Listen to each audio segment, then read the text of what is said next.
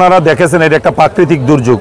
আসলে ইন্ডিয়া থেকে পানিগুলো বাংলাদেশে আসতেছে। গুমতি নদীতে অনেক বছর পর আপনার একটা বিপদ সীমার উপর দিয়ে এখন পানি অতিক্রম করতেছে। এখানে সকল সংগঠন, যার যার পক্ষ থেকে স্বেচ্ছাশ্রমে সবাই কাজ করতেছে। আমরা সবাইকে উৎসাহিত করব এই মুহূর্তে আমাদেরকে সকলকে এগিয়ে এসে কাজ করা এবং প্রশাসনকে সহযোগিতা করা।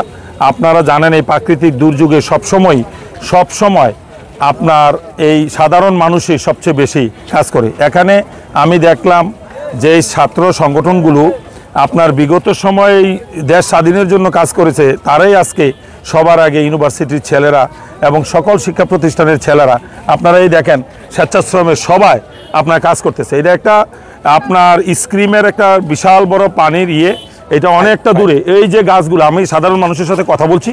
এখন যে তারা এই এই বাদরা দেওয়ার চেষ্টা করতেছে এটা হলো আপনার এখানে ফাইভ ডা তারা চেষ্টা করতেছে যে কোনোভাবে ফাইভ ডার একটা অংশ তারা খুঁজে বের করার জন্য এবং এটা বন্ধ এটা বন্ধ করবে। আর এই স্বেচ্ছাশ্রমে সকল ছেলেরা এখানে আইনা আপনার সকল বালিগুলো একসাথে করতেছে। এবং আপনারা এসেছেন আপনাদের মাঝে আমার একটাই বিষয় ছেলেরা এখন আপনার কারও কাছে যদি নৌকা থাকে তাইলে তারা এক নৌকার সহযোগিতা। আমরাও চেষ্টা করতেছি ব্যবস্থা করার জন্য। আর এই বস্তা ওরা বলছে যে আমাদের কাছে ওরা কোনো খাবার দাবার কোনো কিছু না ওদের কোনো বিনিময় নাই। ওরা বলছে যে কারও কাছে বস্তা থাকলে বস্তা দিয়ে সহযোগিতা করার জন্য। সকল মানুষ এই সহযোগিতার হাত বাড়াইছে। আপনার অনেকেই দেখা যায় বাড়িতে বেকার বস্তা পড়ে আছে এখন ওদেরকে দিলে এটা ওনাদের সহযোগিতা হবে। আমরা সবাইকে বলব সহযোগিতা হাত বাড়ানোর জন্য। হচ্ছে যে এই যে বন্যার অন্যতম কারণ কি ভারতীয় আগ্রাসন মনে করেন?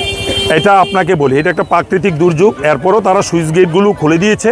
আপনারা সুইচ গেটগুলো যদি আপনার অতি যখন প্রচুর পরিমাণ পানি হয়, তারা এটা খুলে দেয়। এটা আমার একটা বৈষম্য মনে হয়। এখন তারা এই বাংলাদেশের দিকে তাকানো উচিত। এখনও যদি তারা গেটগুলো বন্ধ করে এখনও বন্ধ করে, তাহলেও বন্যাটা একটা নিয়ন্ত্রণে আসার সম্ভাবনা আছে। জি